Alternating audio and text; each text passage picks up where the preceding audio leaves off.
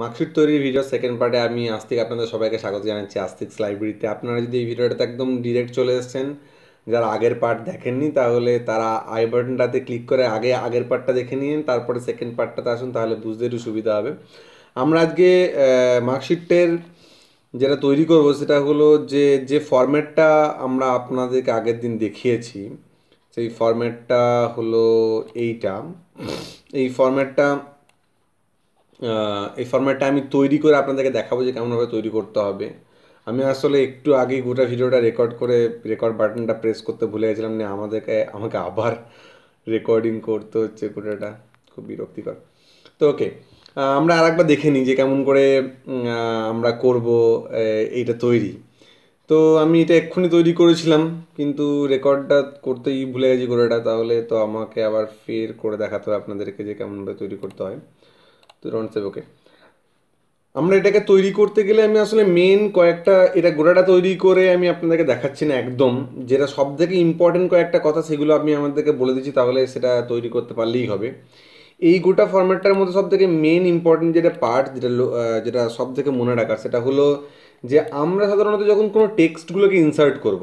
সেগুলো ওয়ার্ডে সাধারণত যেমন করে নর্মালি টেক্সট ইনসার্টেড হয়, সেরকম না করে টেক্সট বক্সের আকারে ইনসার্ট করব, তাহলে যখন কোনো টেক্সটটাকে সরাতে নড়াতে হবে, তাহলে সুবিধা হবে।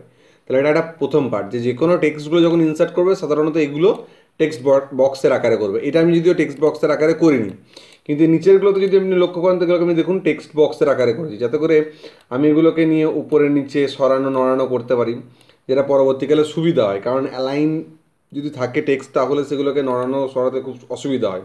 সেগুলো সেই জন্য টেক্সট বক্সের আকারে করেছি, এবং সমস্তটাই।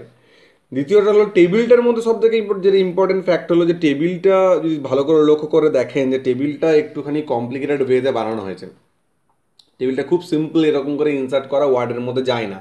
কারণ এই বাঁ পাশের যে টেবিলটা আছে সেটার মধ্যে টোটাল যদি আপনি রো সংখ্যা দেখেন তার মধ্যে টোটাল ছটা রো আছে। আর ডান পাশের যদি রো সংখ্যা দেখেন টোটালটা তাহলে দেখবেন নটা রো আছে, যেটা একটুখানি গন্ডগোলের। এবং লাস্টেরটাতে আবার সেটাকেও দুভাগে ভাগ করা আছে। এইটাই শুধুমাত্র ইম্পর্ট্যান্ট একটা জায়গা। আর একটা হলো যে, যখন আমি এখানটাতে নেম বা ক্লাস আর সেকশন আর রোল এগুলোকে ইনসার্ট করেছি, আপনি যদি খুব ভালো করে লক্ষ্য করেন, তাহলে বুঝতে পারবেন এগুলো কিন্তু আমি স্পেস বার দিয়ে ইনসার্ট করিনি। এইটা সব থেকে বড় ইম্পর্টেন্ট কথা। এটাকে স্পেস আপনি যদি কিবোর্ডের অ্যারোগুলোকে ক্লিক করেন, তাহলে এগুলোকে দেখবেন আমি স্পেস বার দিয়ে ইনসার্ট করিনি, এগুলো ট্যাব দিয়ে ইনসার্ট করেছি। যারা ট্যাব সম্বন্ধে ভালো করে আইডিয়া আছে, তারা তো বুঝতেই পারছেন কেমন করে ইনসার্ট করা হয়েছে।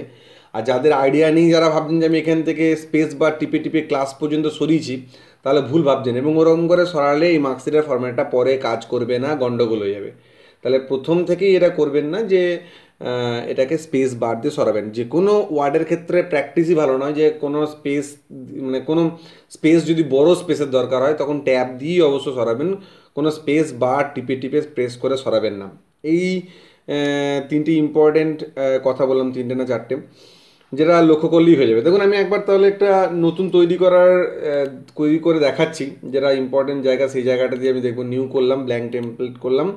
এবং আরেকটা যেটা ইম্পর্টেন্ট কথা হলো, প্রথমে পেজটা দেখুন, আমাদের সাধারণত ওয়ার্ডে সবসময় ল্যান্ডস্কেপে থাকে। তাহলে আমি পেজটা পেজ লেআউটে যাব ওরিয়েন্টেশন যাব ল্যান্ডস্কেপে যাব। যদি আপনি মার্কশিট ফর্ম্যাটটা ল্যান্ডস্কেপে তৈরি করতে চান তো, আর যদি পোর্ট্রেটেই তৈরি করতে চান, তাহলে কোনো ব্যাপার নেই, তাহলে ওরকমই থাকবে।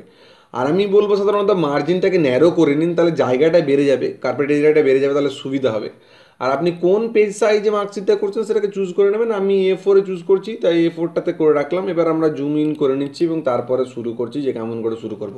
তাহলে প্রথমে আমি যেটা করেছিলাম যে উপরে স্কুলের নামটা লিখব। আমি আপনাদেরকে লিখে দেখাচ্ছি।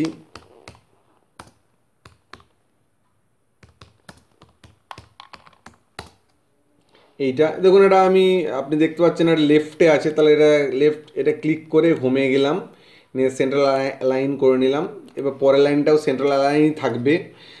আর একটা এখানে একটা ইম্পর্টেন্ট কথা আছে, আপনি যদি একটুখানি জুম করি তাহলে ব্যাপারটা বোঝাতে পারব। দেখুন, আমি যখন ইন্টারপেস করি যখনই, তখন কিন্তু দেখছেন এখানের মধ্যে যে গ্যাপিংটা দেখুন অনেকটা অনেকটা গ্যাপিং লাগছে। মনে রাখবেন যে মাইক্রোসফট ওয়ার্ডের মধ্যে ইন্টার প্রেস করা শুধুমাত্র পরের লাইনকে বোঝায় না। মাইক্রোসফট ওয়ার্ডে যদি ইন্টার প্রেস করেন, তাহলে আসলে ওটা পরের প্যারাগ্রাফ বোঝায়। পরের লাইন না সেম প্যারাগ্রাফের পরের লাইন না বুঝিয়ে পরের প্যারাগ্রাফে চলে যায়। তাই এগুলো আসলে প্রত্যেকটা প্যারাগ্রাফ ভাগ হয়েছে। নেক্সট লাইনে যায়নি তাহলে আপনি যেটা করবেন, আমি সাজেস্ট করব যে শিফট এন্ডে টিপবেন, তাহলে কি হবে? পরে সেম প্যারাগ্রাফের পরের লাইনে আসবে। তাহলে সেম প্যারাগ্রাফের পরের লাইনে হলে গ্যাপিংগুলো কম হয়। যেমন দেখুন শিফট এন্টার টিপছি এবং এরপরে দেখুন, আবার শিফট এন্টার টিপছি, তারপর পরেরটা দেখুন। এইটা আর আগেরটা যদি লক্ষ্য করতে পারেন, তাহলে বুঝতে পারবেন যে স্পেসিংয়ের কত পার্থক্য আছে। তো এটা মনে রাখবেন যে সেম প্যারাগ্রাফে যদি আপনি চান যে পরের লাইন লিখতে, তাহলে শিফট এন্টার প্রেস করবেন। আর যদি পরের প্যারাগ্রাফে যেতে চান তাহলে এন্টার প্রেস করবেন। তাহলে আমরা এখানটাতে যেটা লিখছি সেটা হলো সাপোজ আমরা লিখে নিচ্ছি এটা গভর্নমেন্ট স্কুল আমি ভাবছি আমাদেরটা G O V T government school sorry government school next আবার আপনি চলে আসুন শিফট এন্টার তো অ্যাড্রেসটা লিখতে হবে আমাদেরকে। ওকে এটা হচ্ছে নর্মাল ব্যাপার এবং এটাকে আপনি ফরম্যাট করে নিতে পারেন একটু প্রথমেই, কোনো অসুবিধা নেই। হাই স্কুলটা একটু বড় ফন্ট কুড়ি, বাইশ বাইশ চলতে পারে, কোনো অসুবিধা নেই। আমি এটাকে ক্যামব্রিয়া করে নিচ্ছি, একটুখানি ক্যামব্রিয়া ভালো লাগে। আর এগুলোকে সাপোজ ভাবুন টাইমস নিউ রোমানে রাখলাম। আর এটাকে একটু ইটলিক করে নিলাম আন্ডারলাইন করে নিলাম বোল্ড করে নিলাম, ঠিক আছে। এর পরের লাইনে হচ্ছে যে আপনি চাইছেন যে এটাকে সবগুলোকে একটুখানি ইনঅ্যাক্টিভ করে নিই আর এটা লেফটে করে নিই। তাহলে এখানে নেম নেম এইটা যেটা আপনাকে ইম্পর্টেন্ট বলছি। আপনি এবার যদি চান যে এখানটাতে এরকম জায়গাটাতে আসুক ক্লাস তাহলে আপনি এখানটাতে প্রেস করুন। তাহলে ট্যাব হয়ে গেল ক্লাসের জন্য। নেক্সট আপনি এখানে চান সেকশন আর এখানে চান রোল নাম্বার এরকম করে করবেন, তাহলে কিন্তু হবে ঠিকঠাক, নাহলে পরে জেনারেট করার সময় আমি আপনাদেরকে অসুবিধা দেখাবো যে কী যে অসুবিধাটা হয়। আর এখানে হলো সেকশন সেকশন আর এখানটাতে হলো রোল যদি বড় কোনো স্পেস যে কোনো ওয়ার্ড ডকুমেন্টের ভেতরে দিতে হয়, তাহলে সবসময়তেই আপনি করবেন যে ট্যাব দিয়ে করবেন। এমনি স্পেস বার টিপে এন্টার টিপবেন না। স্পেস বার টিপে টিপে টিপে টিপে তারপরে স্পেস তৈরি করবেন না, তাহলে মুশকিল হবে। এরপরে আমি একটা লাইন অ্যাড করতে চাই। তো ইনসার্টে যান শেপস লাইন এখানে একটা ড্র করে নিলাম লাইন একটা। লাইন ড্র করে নিলাম, তার ডিজাইনটা এখান থেকে একটুখানি পাল্টে নিতে পারি। তো লাইন ড্রটা হয়ে গেল। মোটামুটি। এটাকে একটুখানি মার্জিনটাকে উপরে তুলে দিন গোটাটাকে, তাহলে একটু সুবিধা হবে। আর এর পরের লাইনে আপনি ফর্মেটিভ আর সামেটিভটা লিখবেন। এই লাইনটাকে একটুখানি তুলে দেওয়া যেতে পারে। ফর্মেটিভ আর সামেটিভটা লিখবেন। ফর্মেটিভ সামেটিভ লেখার পরে আমি পরের লাইনটাতে তৈরি করব যেটা, সেটা হচ্ছে যে আমার টেবিলটা তো আমি একবার প্রথমে টেবিলটাই দেখাচ্ছি প্রথমে। দেখুন, টেবিলটা ইনসার্ট করতে গেলে প্রথমে আমি যেটা করব সেটা হলো যে আমি দুটো জায়গা টেবিল তৈরি করে নিলাম, একটা দুটো।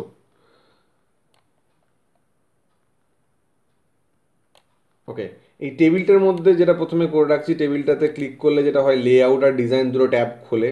তো প্রথমে লে আউটে গিয়ে auto fit to the window করে রাখছি সব সময়তে। তাহলে যত কী হবে, এই পাশের উইন্ডো পর্যন্ত সমান হয়ে থাকবে। তিন ধরনের অরবিট অরবিট থাকে। দেখবেন টিপে টিপে আসলে কোনটা কী ব্যাপার নিজে নিজে শেখার চেষ্টা করবেন, সমস্ত কিছু তাহলে একটু ভালো হবে। এটা আমি বাঁ দিকে করে নিলাম। আমাদের বাঁ দিকেরটাতে যদি আপনি মনে করে দেখেন, তাহলে দেখুন যে চারটে কলম হবে, আর ডান দিকেরটাতে হবে ছটা কলম। সেই জন্য আমি একটু, একটুখানি এরকমভাবে ভাগ করে নিলাম, যাতে করে এরকম হয়ে যায়। এটাকে আমি ছটা রোতে ভাগ করব। তাহলে আমি এটাকে গোড়াটা সিলেক্ট করি, প্রথমে সেরকম করে নিচ্ছি। স্প্লিট সেলস, সিক্স এটা এটা এটা একবার এই বাঁ দিকেরটাকে আমি প্রথমে সাপোজ করে নিলাম স্প্লিট সেলস ওয়ান রো না করে সিক্স সিক্স আর সিঙ্গেল টার্ম ওকে তাহলে এটা সিক্সে ভাগ হয়ে গেল, দেখুন সিক্স এটাকেও সিক্স কলম একটাই থাকবে রো হবে সিক্স সিক্স তাহলে এটা প্রথমে সমান করে নিলাম। নেক্সট আমি একটা যেটা স্টেপ বাই স্টেপ করছি, এটা একটু ছোট করে নিলাম। এইবার একটু মিনিমাইজ করে নিই, তাহলে আমি জায়গাটা সম্বন্ধে বুঝতে পারব। দেখুন, এটা জায়গাটা মোটামুটি মোটামুটি ঠিক আছে। যদি ঠিক না থাকে, তাহলে এটা একটুখানি কমিয়ে নিতে পারেন। এই ডিস্ট্রিবিউশন রো থেকে গিয়ে একটু কমানো এলাম। একটু ওকে এবার মোটামুটি ঠিক আছে। এবার দেখুন, এই বাঁ দিকেরটাকে আমাকে যেটা করতে হবে, সেটা হচ্ছে যে এক, দুই, তিন, পাঁচটাকে ভাগে ভাগ করতে হবে। তাহলে এটাকে পাঁচটা ভাগে ভাগ হয়েই গেছে। আর চারটে কলম চাই। তাহলে এটাকে সিলেক্ট করলাম, চারটে কলমে ভাগ করব। তাহলে স্প্লিট সেলস কলম চারটে করে দিলাম। চারটে ওকে তাহলে চারটে হয়ে গেল। এই চারটে কলমের মধ্যে যদি আপনি লক্ষ্য করেন, তাহলে প্রথমে একটা যেহেতু নেম লিখতে হবে, তাই একটুখানি, ও সরি এই উপরেরটাকেও নিয়ে করতে হবে, কারণ এখানেও চারটেই আছে। তাহলে উপরেরটাকে নিয়ে স্প্লিট সেলস চারটে করে দিলাম। কলম চারটে। ওকে তাহলে চারটে ভাগে ভাগ হয়ে গেল। আর এইটাতে যে আছে সেটা হলো সিলেক্ট করে নিলাম সবকটাকে এবং এর কলম সংখ্যা স্প্লিট সেলস ছটা ভাগে ভাগ করে নিলাম। এবার দেখুন, আমি একটা প্রথমে যেটা কাজ করছি যে আমার টেক্সটগুলোকে আমি টাইপ করে নিচ্ছি, তাহলে স্পেসিং সম্বন্ধে বুঝতে পারব। আমি এখানে এখানে কপি করে একটু পেস্ট করে নিই। তাহলে কার কতটা জায়গা লাগবে সেটা আমি নিজে একটুখানি বুঝতে সুবিধা হবে আমার ব্ল্যাঙ্কটার মধ্যে। আমি এটা পেস্ট করে দিলাম, তাহলে দেখুন এরকম। আমি এটাকে চাই একটু বড় করতে, তাই এটাকে একটু বড় করব। সরি এটা এরকম জায়গায় ধরে টানবেন, তাহলে গোটাটা আসবে, নাহলে একটা একটা করে চলে আসতে পারে by chance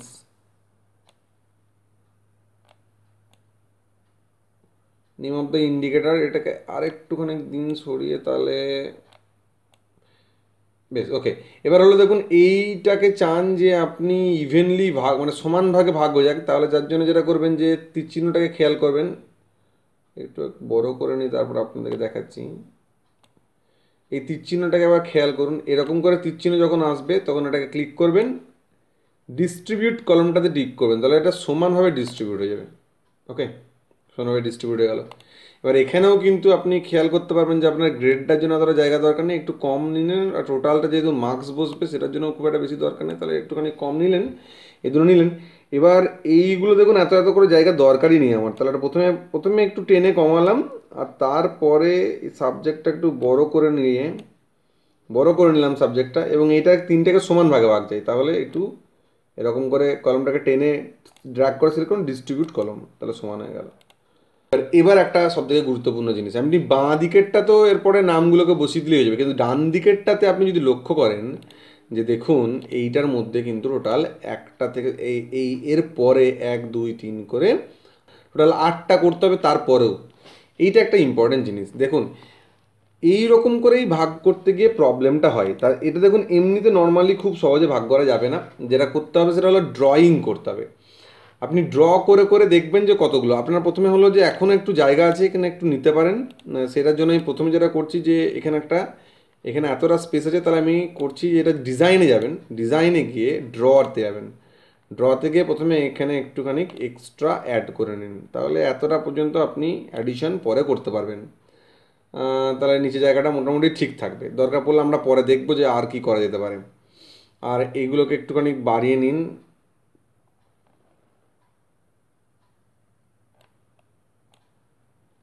এই উপর থেকে শুরু করবেন তাহলে এটার সঙ্গে নামবে।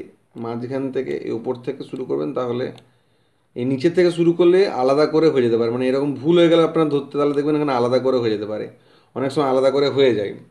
তো আপনি যেটা করবেন যে উপর থেকে শুরু করবেন তাহলে দেখবেন একসঙ্গেই আসবে যদি কোনো সময় কোনোটা দেখেন যে একসঙ্গে আসছে না, তাহলে একটু জুম করে দেখে নেবেন যে একসঙ্গে এসছে কি না তাহলে বুঝতে পারে যাবেন যে এসছে কি, আসেনি। যদি না আসছে, তাহলে ড্রটাকে ছেড়ে দিন আর এখানটাতে মাউসটাকে এরকম ডাবল ক্লিক করে দিন, তাহলেই হয়ে যাবে। এখানটাতেও ডাবল ক্লিক করে দিন, এটাতে প্রবলেম মনে হচ্ছে, এটা ডাবল ক্লিক করে দিন, এটাতেও ডাবল ক্লিক করে দিন, তাহলে এটা হলো, সবগুলো ঠিক হয়ে গেছে। সবগুলো ঠিক হওয়ার পরে যেটা আমরা প্রথমে করেছিলাম, সেটাকে আর একবার করে দেবো, যে টেবিলটা সিলেক্ট করে সরি টেবিলটা সিলেক্ট করে এটা auto fit to the design sorry layout auto fit to the window তাহলে ডান দিকে ঠিকঠাক হয়ে যাবে। বেশ, এবার হচ্ছে ইম্পর্টেন্ট কথা হলো আমাদেরকে এখানে আটটা করতে হবে, কিন্তু এখানে আপাতত আছে ছটা। তো দেখবেন এরকম করে করবেন ডিজাইন নিয়ে ড্র আর ইরেজ এটা আপনাকে নিজে ঠিক করতে হবে। ইরেজ করে নিলাম, ধরুন এটাকে ইরেজ করে নিলাম। আপনি এখানে আর দুটো ড্র করে নিলেন। একটা ড্র করলেন, এখানে একটা ড্র করলেন, দুটো হয়ে গেল। তাহলে একটা, দুটো, তিনটে হয়ে গেল। দরকার পড়লে আপনি এটাকেও ডিলিট করে দিতে পারেন মন হলে। আর না হলে রাখতে পারেন, সেটা আপনার নিজের ইচ্ছা। আমি ডিলিট করে দেখাচ্ছি কেমন করে করতে হবে। এটা এখানে আর একটা ড্র করলেন। এই ড্রগুলো কিন্তু প্রত্যেকটা জায়গাতে কেমন করে হয় তার একটা রুলস আছে। তবে আপনি ভালো করে খেয়াল করলে বুঝতে পারবেন। আমি ড্রটা করে দেখাচ্ছি। আপনারা যদি কোনো প্রবলেম ফেস করেন, তাহলে কমেন্ট বক্সে লিখবেন। তখন আমি সেই প্রবলেমটার কারণটা সম্বন্ধে বলে দেবো আপনাদেরকে কেন এরকম প্রবলেম হচ্ছে। আর এখানে একটা করুন, তাহলে মোটামুটি মনে হচ্ছে ঠিক হয়ে যাবে আমার মনে হচ্ছে। দেখুন, কটা হলো? একটা, দুটো, তিনটে, চারটে, পাঁচটা, ছটা, সাতটা, আটটা, ব্যাস। তাহলে এইখানে আর একটা ড্র করে দিন আর এইটাকে ডেল করে দিন। তাহলে মনে হয় আমাদের ভালো দেখতে হয়ে গেল। এটা হলো খুব সিম্পলভাবে আমি আর্টটা তৈরি করে নিতে পারলাম। এখানের মধ্যে এই সমস্তগুলোকে একই রকম লেন্থে তৈরি করা যাবে না, এটা একটা প্রবলেম সমস্ত লেন্থগুলো একই রকম তৈরি করতে গেলে কিছু ক্যালকুলেশনস করে তারপর তৈরি করতে হবে। তাহলে তৈরি করা যাবে, তৈরি করা যাবে না এরকম নয়, তৈরি করা যাবে। কিন্তু একটু ক্যালকুলেশন করতে হবে, তারপরে তৈরি করতে হবে। কিন্তু অত ক্যালকুলেশন আমার দরকার নেই, আমাদের মোটামুটি সমান ভাগে ভাগ করলেই হবে। তাহলে আমাদের কাজ চলে যাবে। তাহলে এটা একটা ইম্পর্টেন্ট জিনিস। ও সরি এখানে একটা জায়গা এখনও বাকি আছে। আমরা এখানটাতে রোলের পরে যেটাকে ফর্ম্যাটিভ সেটা লিখব, সেইটা হচ্ছে এখানটা। এখানটাতে লিখে দেবো ফর্ম্যাটিভ আর সামেটিভ আমি আর একটু জায়গা কমাবার দরকার হতে পারে। নেম এটাকে একটুখানি দরকার পড়লে ছোটো করে নিতে পারেন। দেখবেন যে কোনটা ছোট করা যাচ্ছে, কোনটা ছোট করা যাবে না। আপনার মতন করে করবেন একটুখানি, সেটা বুঝতে পারবেন। কারণ এগুলোতে বেশি কিছু হবেই না, এখানে শুধুমাত্র মার্কস বসবে সেই জন্য যতটা মতন জায়গা দরকার আছে, সেইটা মতন অ্যাডজাস্ট করে নেবেন। তাহলে দেখুন, হয়ে গেছে। এরপরে নেক্সট যেটা করতে হবে, সেটা হলো এখানে সমস্তটা ফিল আপ করতে হবে। আমি জাস্ট একটুখানি লিখে নিচ্ছি স্কিপ করে বাকিটা দেখাচ্ছি। ওকে আমার পেস্ট করাটা করাটা হয়ে গেছে মোটামুটি। এগুলো একটু সাজানোর জন্য যেটা অনেক সময় করতে হয়, সেটা হলো যে আপনি এগুলোকে সিলেক্ট করে নেবেন, নিয়ে এখানে লে আউটসের ভেতরে আসবেন এই দেখুন সেন্টার করে নিলাম, তাহলে সমস্ত সেন্টার হয়ে গেল। যদি কেউ লেফটে চান, তাহলে সব লেফটে হয়ে যাবে। আপনি যেমন ইচ্ছে সেরকম করে নিতে পারেন। এবার হলো জায়গাটা আমাদের বাকিটা বেঁচে গেছে। এবার দেখুন বাকি জায়গাটাতে আমি যেগুলো হচ্ছে যে নেক্সট টেক্সট বক্সগুলোকে দিয়ে করব। দেখুন টেক্সট বক্স দিয়ে করার সুবিধা কি? টেক্সট বক্স করলে কি হয় যে এখানে খুশি সরাতে পারবেন, এটা হলো সবথেকে বড় সুবিধা। টেক্সট বক্স এরকম করে আমি কপি করে এনে আপনাদেরকে দেখাচ্ছি একবার। যেটা আমি গ্রেডের টেক্সট বক্সটা কপি করে আনলাম ওখান থেকে। তাই টেক্সট বক্স করে আনে খুব সুবিধা আছে। আপনি ইনসার্ট কেমন করে করতে পারেন তারা ইনসার্টে যেতে পারেন। নিয়ে টেক্সট বক্সে যাবেন। টেক্সট বক্সে গিয়ে সিম্পল টেক্সট বক্স এরকম একটা টেক্সট বক্স এখানে ইনসার্ট করে নিলেন এই লেখাটাকে আপনি ডিলিট করে দিয়েন এবং তারপরে আপনার যে লেখাটা সেটা পেস্ট করে দিন সাপোজ আমাদের আমাদের সাপোজ এই লেখাটা আছে। তো আমরা লেখাটাকে পেস্ট করে নিচ্ছি, একটুখানি কন্ট্রোল সি করে নিলাম। এবং এটা দেখতে পাচ্ছেন যে পাশের বর্ডারটা থেকে যাচ্ছে সেটা আরেকবার টেক্সট বক্সটাকে সিলেক্ট করবেন এবং টেক্সট বক্স রিলেটেড যে ফরম্যাটগুলো সেটা চলে আসবে। এটা আউটলাইন বর্ডারটা শেপের তাহলে আউটলাইনটাতে নান করে দেবেন। সাদা ফাদা করেন না নান করে দেবেন। তাহলে ঠিক আছে। এটা নান করে দিলেন, তাহলে এটা চলে এলো এখানটাতে। এটা হচ্ছে সুবিধা টেক্সট বক্সের আপনি ইচ্ছা মতন করে আপনার যেখানে প্লেস আছে, সেখানটাতে সরিয়ে নিতে পারবেন। এইটা সব থেকে বড় সুবিধা টেক্সট বক্সের টেক্সট বক্স ওয়ার্ড আর্ট এদের এইটার সুবিধাগুলো আছে। যখন যেরকম প্রয়োজন পড়বে আমরা সেরকম সেরকম ইনসার্ট করব। আমি বাকিটা কপি করে নিই কমপ্লিট এইটা আমরা তৈরি করে নিলাম মোটামুটি যতটা আমাদের ফরম্যাটটা আছে সেইটা। এইটা তৈরি আপনারা নিজেদের মতন করে করবেন। এখানে দরকার পড়ে আপনার স্কুলের নাম চেঞ্জ করে করে নিতে পারেন। এটা সিম্পল একটা ফরম্যাট আপনার যদি মনে হয় এখানে আরও কিছু ইনক্লুড করবেন, যেমন অ্যাজ ফর এক্সাম্পল পার্সেন্টেজ যদি মনে হয় ইনক্লুড করতে চান বা অন্য কিছু ইনক্লুড করতে চান, সেগুলোকেও করতে পারেন, তাতেও কোনো রকমের প্রবলেম কিছু নেই। আমি এটা নর্মাল ফর্ম্যাট দেখালাম, আপনাদের নিজেদের মতন করে ফর্ম্যাট তৈরি করবেন, কোনো প্রবলেম নেই, কোনো রকমের কোনো অ্যাডিশন করাতে বা সাবট্রাক্ট করাতে আপনারা নিজের মতন করে করবেন ল্যান্ডস্কেপও করতে পারেন বা আপনার কোনো যদি অলরেডি কোনো ফর্ম্যাট থাকে, সেরকমও ফর্ম্যাট করে নিতে পারেন। আমি আমার যে ফাইলটা আছে, সেটা ওয়ার্ডটার যে ফাইলটা টোটালটা সেটা ডেসক্রিপশনের মধ্যে দিয়ে দিচ্ছি। আমাকে অনেক সময় অনেকে জিজ্ঞেস করে যে ডেসক্রিপশনটা কেমন করে দেখতে হবে। তো দেখুন, আপনি যদি ইউটিউবে আসেন, ইউটিউবে এসে আমার চ্যানেলটাকে সার্চ করেন, আস্তিক্স লাইব্রেরি, ওকে, আস্তিক লিখলেই আস্তিক্স লাইব্রেরি চলে আসে। তো এটা হলো আমার চ্যানেলটা। চ্যানেলটা সার্চ করার পরে যে ভিডিওগুলো, সেগুলো হলো ভিডিও লাইব্রেরিটা এখান থেকে দেখতে পাওয়া যায়, যতগুলো ভিডিও আমি করেছি। যেমন, আমি উদাহরণস্বরূপ দেখাচ্ছি, ধরুন, একটা এই এক্সেলের অ্যাডমিশন রেজিস্টারে আমি একটা স্যাম্পল ফাইল দিয়েছিলাম। সেই স্যাম্পল ফাইলটা কোনখান থেকে দেখবেন? এটা হলো সাবস্ক্রাইবার বাটন এটাকে এই বাটনটাকে টিপে ডেস্কটপ থেকে সাবস্ক্রাইব করবেন। আর এইটাতে শো মোড টিপবেন। যারা জানেন তারা ভাবছেন যে হঠাৎ করে এইটা কেন বলতে শুরু করেছে, কিন্তু অনেকে আমাকে জিজ্ঞেস করছে বলে আমি একবার বলে দিচ্ছি। এখানটাতে দেখবেন যে এই লিঙ্কগুলো যেমন করে যেটা উইদাউট স্যাম্পেল ডেটা এক্সে এটা হচ্ছে আছে। আর উইথ স্যাম্পেল ডেটা এটা হলো আমার যে অ্যাডমিশন রেজিস্টারটা যে এরকম করে। তাহলে আপনি যেটা ইচ্ছে সেটা ডাউনলোড করবেন। ডাউনলোড করার পরে দেখবেন পাসওয়ার্ড চাইবে। আমি আজকে যে ফাইলটা দেবো সেটার পাসওয়ার্ড থাকবে আস্তিক এ এস টি আই সিকে আপনি ডাউনলোড করার পরে আস্তিকটা লিখবেন, তাহলে দেখবেন আপনার ডকুমেন্টটা খুলে যাবে। ভিডিওটা একটু লেন্দি হয়ে গেছে, ভিডিওটা লেন্দি হওয়ার জন্য একটু সরি সবাইকে, কারণ আসলে ওয়ার্ডের আমাকে গোটা ফর্ম্যাটটা বলতে হলো তাই একটু লেন্দি হয়ে গেছে। তবুও আশা করব যে আপনাদের ভিডিওটা ভালো লেগেছে, ভিডিওটাকে ভালো লাগলে লাইক করবেন শেয়ার করবেন কমেন্ট বক্সে যে কোনো রকমের কোয়ারির জন্য লিখবেন বা কোনো সাজেশনের জন্য লিখবেন বা অন্য কোনো রিলেটেড যদি টেকনিক্যাল কোনো রকম কোয়েশ্চেন্স থাকে, আপনাদের লিখবেন, আমি চেষ্টা করব উত্তর দেওয়ার। আর এই ভিডিওটাতে যে ফাইলটা আমি প্রোভাইড করেছি, আপনাদেরকে ওয়ার্ড সেটা ডিসক্রিপশনে লিঙ্ক দেওয়া আছে, সেটার পাসওয়ার্ড থাকবে Astik A S T I C K সেটা ডাউনলোড করে আপনি স্কুলের নামগুলোকে চেঞ্জ করে নেবেন, তাহলে আপনার ইউজেবল সেটা হয়ে যাবে। এর যে থার্ড পার্টটা আছে, যেখানে আমি এক্সেলের শিটটা দেখাবো আপনাদেরকে তৈরি করে এবং তার সঙ্গে ওয়ার্ডেরটাকে লিঙ্ক করব এবং পাসওয়ার্ডটা প্রিন্টেবল তৈরি করব, সেটা থার্ড পার্টে সেটা দেখার জন্য থার্ড পার্টে আপনি চলে আসবেন। সেখানেও আমি এক্সেলের যে গোটা মার্কশিটের শিটটা থাকবে, সেটা আপনাদেরকে প্রোভাইড করে দেবো, সেটাও ডেসক্রিপশনে থাকবে থার্ড পার্টের আমি আপনাদেরকে ইনভাইট করছি থার্ড পার্ট দেখার জন্য। থ্যাংক ইউ সবাইকে ভিডিওটা দেখার জন্য।